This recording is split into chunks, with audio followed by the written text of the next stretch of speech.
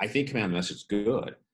but I think still with anything, you still have to know what you're selling, what it does, because you do need to be the subject matter expert, right? And so again, they're talking to you because you should be a little bit prescriptive about what you they should be doing